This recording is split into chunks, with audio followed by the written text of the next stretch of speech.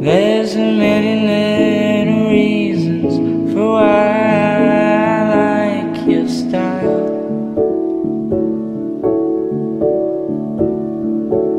If I tried to write them down, I'd run out of ink.